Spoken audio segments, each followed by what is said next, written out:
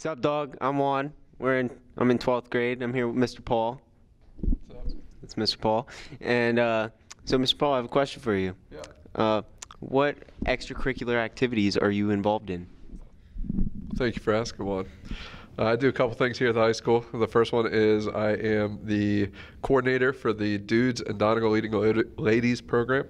So we have groups for guys at Donegal that just need like uh, little extra support in the high school day. Uh, we talk about all kinds of different topics, hang out in the morning, have coffee, uh, donuts, all kinds of stuff, and sort of sit like we are right now. It's a pretty good time. Uh, and then I also am the co GM, co GM, yeah, watch out, uh, of the Donegal esports team. This season we're playing Overwatch. We have two teams of six that are trying to win gold in our NASEF tournament. And I do that with the wonderful Mr. Brackbill. That's great.